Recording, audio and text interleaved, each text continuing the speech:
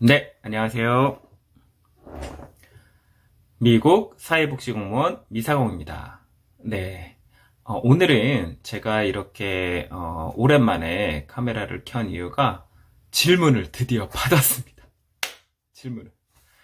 제가 솔직히 어, 미국 사회복지에 대해서 어, 영상을 이제 두 개를 만들고 나서 조금 어, 의기소침해 있었어요. 그 이유가 많이들 관심이 없으신 것 같더라고요. 예. 그래서 이거를 계속 해야 되나 말아야 되나 고민하면서 어, 또 이제 아이들하고 제가 지금 이제 7살 큰 애가 7살이고 작은 애가 이제 돌이 막 지났는데 아이들 이제 육아에 더 신경을 쓰다 보니까 이제 아이들 사진 찍어주고 비디오를 더 많이 찍어줬지 솔직히 사회복지에 대해서 이렇게 어 제가 좀 준비를 해가지고 이렇게 영상을 만드는 게 쉽지는 않더라고요. 예.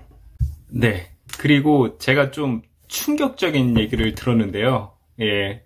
어, 첫 번째 영상과 두 번째 영상이 너무 지루하대요. 예. 재미가 없대요.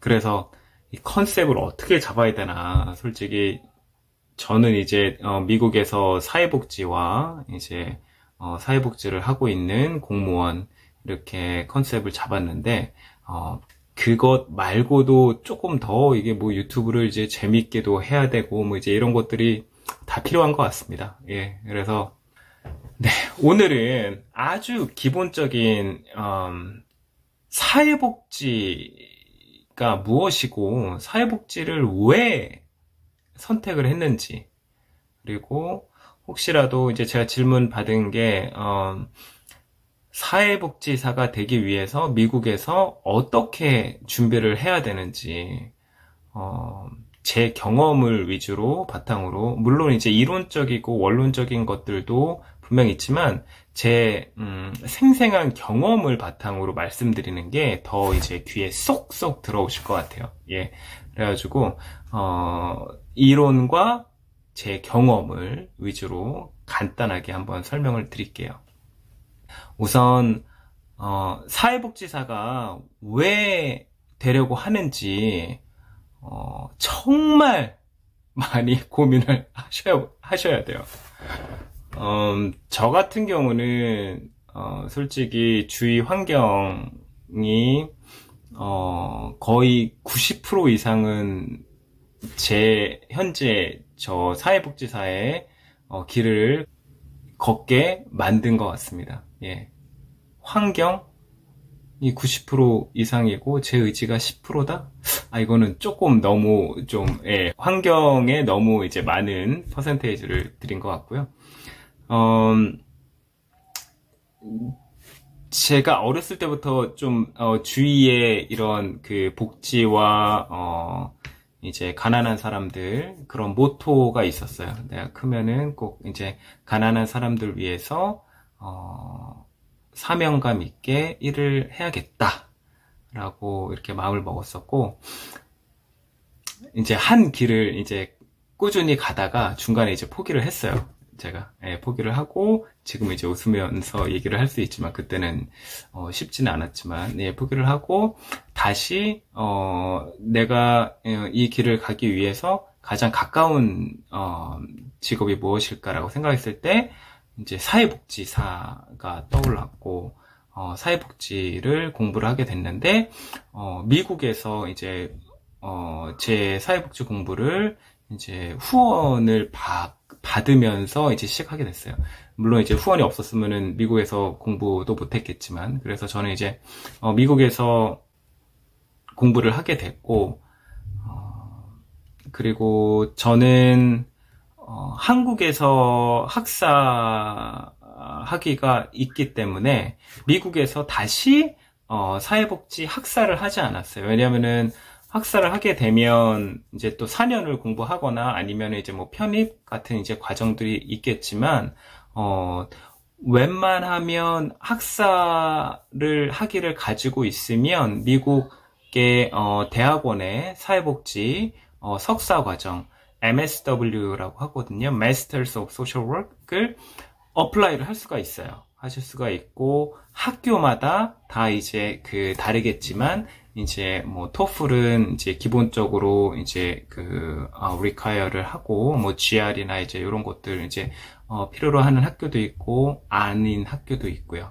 예 그렇기 때문에 만약에 어, 사회복지를 미국에서 공부하신다고 하면 학사 학위가 있으시면 석사를 지원하시기를 어, 적극적으로 권장을 해드리고요. 학사가 없으시면 뭐, 어, 바로 내가 이제 소셜워크를 바로 정말 공부를 하고 싶다 그러시면은 이제 학사로 바로 이제 공부를, 어, 이제 뭐 준비를 하실 수 있습니다. 그리고, 음, 주마다 조금씩 차이는 있겠지만 학교는 정말 많아요. 학교는 많기 때문에, 어, 조금만 이렇게 구글 서치나 아니면은 어, 그, US, 그, 어, 그런, 그, 어, 학교, 저도 뭐 거의, 심, 지금 제가 2006년도에 졸업을 했으니까, 어, 거의 15년 전에, 15년도 더 전에, 이제 그, 공부하는 거를 준비를 했었는데, 어, 학교도 많이 알아보고, 그때는 이제 카페, 이제 그, 다음 네이버 카페에도 이제 도움을 많이 받았고 이제 토플도 많이 준비를 하고 그렇게 준비를 했었어요. 음, 그래서 만약에 이제 그 정말 소셜워크를 학사부터 준비하시거나 아니면은 학사가 다른 전공이 있으시면 석사를 바로 이제 그 apply 하는 거를 강력하게 추천을 드립니다. 제가 석사를 할 때 거의 70% 80%의 학생들이 어, 사회복지 필드에서 일을 하고 있는 어, 사회복지사들이었어요. 예. 그렇기 때문에 음, 사회복지 어, 현업에 있으면서 그 석사 학위를 이제 따는 것도 어, 가능하고 그렇게들 많이 하더라고요.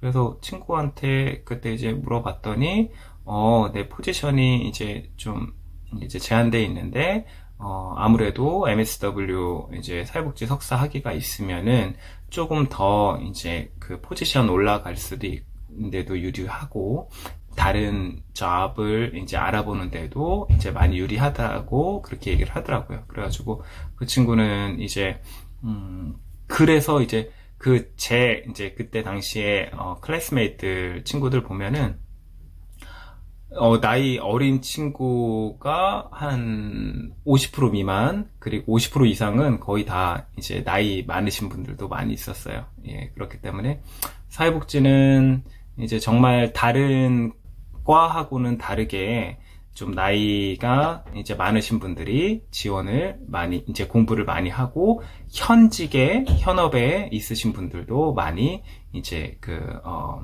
공부를 한다라는 거 그렇게 있고요. 제가 이제 두 번째로 사회복지에는 어떤 분야들이 있는지 어, 이렇게 질문을 해주셨는데 어, 이제 미국에는 사회복지 협회가 있어요. 그 NASW라고 있는데 제가 웹사이트에 들어가 봤어요. 들어가 봤더니 그 어, 정식 그 NASW에서 그 사회복지의 분야에 대해서 분류를 해놨더라고요. 예, 그래가지고 여기 이제 음, 이렇게 제가 이제 화면을 보시면 음, Types of Social Work 해가지고 음, Administration and Management부터 쭉 이제 다양하게 뭐 Aging, Child Welfare, 뭐 Healthcare, International Social Work, Justice and Correction, Mental Health and Clinical Social Work mental health and substance abuse social work 뭐 다양하게 있어요. 다양하게 다양하게 있는데 이 다양하게 있는 것도 중요하지만 제가 말씀드리고 싶은 거는 음, 제가 공부할 때 어, 매크로 레벨 가장 이제 그 이제 행정 뭐 정책 이런 것들 이제 분야가 있었고 그 다음 레벨로 어, 그 community based practice 그러니까 어떻게 보면은 이제 정책이나 이제 행정 그런 것 그 밑으로 이제 우리 어 이제 공동체나 사 이제 좀 국지적인 이제 조금 어, 좀 작은 레벨인 커뮤니티 안에서 어, practice 일 하는 것들이 있었고요. 그리고 맨 마지막으로는 어, micro level이라고 해가지고 direct human service 그러니까 직접적으로 내 클라이언트들하고 어, 한테 직접적으로 서비스를 제공해 주는 거를 이제 direct human service라고 하는데요. direct human service가 어, 거의 60 70%, 60%, 70% 정도 이제 다 포커스를 이제 맞췄었고 어, 한20% 정도가 이제 community based practice고 이제 한 10% 정도가 행정이나 그 정책 같은 것들 이제 포커스를 했었어요. 예. 그런데 음 저는 그때 이제 community based practice를 했는데 어 실질적으로는 direct human service를 왜 어, 친구들이 많이 했는지 생각을 해보니까 거의 대부분 사회복지사들이 뭐 이제 정책을 연구한다던가 뭐 행정을 이제 전문적으로 한다던가 그렇게 되기 위해서는 기본적으로 베이스가 클라이언트들하고 직접적인 경험과 그런 일의 그런 경험이 있어야지 행정이나 이런 것들을 할 수 있어요. 예. 그렇기 때문에 어, direct human service를 그렇게 많이 선택을 했었고, 저 같은 경우도 졸업을 해서, 어, direct human service, 이게, 저는 이제 그 정신보건 상담사를 했는데, 클라이언트들을 직접 만나서 서비스를 이제 제공하는 것들이 가장 많습니다. 그리고 제가 정말로 추천을 해드리고 싶은 게, 어, 사회복지사가 되기 위해서 아니면은 정말 사회복지 필드에서 일을 하기 위해서 내가 결정을 했다면 최소한 그 내가 관심 있는 분야를 구체적으로 잡으시는 것도 좋아요, 미리. 예.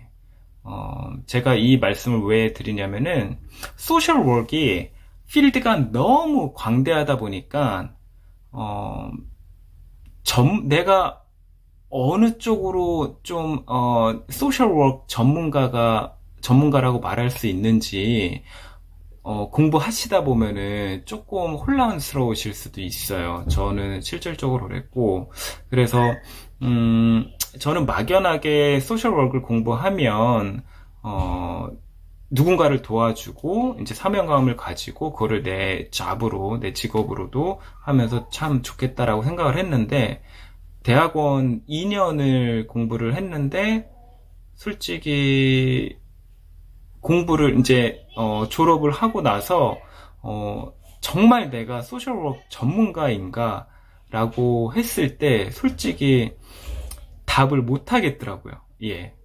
물론 이제 그 경험도 많은 경험도 필요하고 내가 또 따로 이제 공부를 하기도 이제 해야 됐었지만 그래서 처음에 사회복지사가 되기 위해서 어떤 구체적인 분야를 어, 내가 집중적으로 미리 준비하는 것도 나쁘지 않습니다. 그러기 위해서는 꼭 정말로 정말로 제가 정말로 강추를 드리는 게 봉사를 그 내가 관심 있는 분야를 찾아서 있다면 그 분야에서 꼭 봉사활동을 하세요. 예. 최소 6개월, 뭐 길면 1년, 뭐 안 되시면은 뭐 몇 개월, 단지 몇 개월만이라도 내가 관심 있는 분야에서 꼭 봉사활동을 해보세요. volunteer job을 해보시고 물론 이제 미, 한국도 마찬가지지만 미국에서 이제 그 volunteer 하기 위해서 이제 그 담당 이제 staff contact을 해가지고 이제 뭐 background check이나 이제 간단한 것들 그런 것들을 할 거예요 할 건데 꼭 꼭 예 봉사활동을 하셔서 그 필드 그 분야가 이 실제로 일하고 있는 사회복지사들이 어떻게 일을 하고 이 시스템은 어떻게 돌아가고 물론 내가 다 알 수는 없지만 어느 정도 간접 경험을 통해서 그 느끼실 수 있을 거예요. 경험해 보실 수 있을 거예요. 그래서 음, 직접적으로 내가 공부하기 전에 사회복지사가 되기 위해서 사회복지학과에 apply하고 공부하기 전에 그리고 내가 투, 이제 정말 사회복지사가 내 업으로 이제 평생 살겠다라고 이제 그런 큰 마음을 먹기 전에 꼭 내가 관심 있는 사회복지 분야에서 봉사활동을 꼭 한번 해보시기를 바랍니다. 네. 그렇게 하시고 결정하셔도 늦지는 않아요. 늦지는 않으니까 꼭 어, 내가 관심 있는 분야에서 어, 봉사활동을 하시기를 적극적으로 추천해 드립니다. 네. 다음 시간에는 어, 사회복지사로 일을 하면서 좋은 점과 나쁜 점에 대해서 한번 비교를 해볼게요. 물론 이제 좋은 점도 많이 있고 이제 좀 현실적으로 조금 이제 사회복지사가 이제 배고픈 게 솔직히 없지 않아 있습니다. 네. 그렇기 때문에 하지만 사명감을 가지고 늘 일을 하고 있고 그 일을 통해서 보람을 느끼고 보람을 느끼면서 일을 하기 때문에 음, 좋은 점도 많이 있습니다. 네, 다음 시간에는 꼭 이제 사회복지사로 이제 일을 하면서 좋은 점과 나쁜 점에 대해서 한번 나눠보도록 하겠습니다. 네, 그러면은 어, 구독과 좋아요 꼭 부탁드립니다. 네, 감사합니다. 자, 안녕하세요. 저는 권승원입니다. 끝이야? 구독, 좋아요! 예. 예.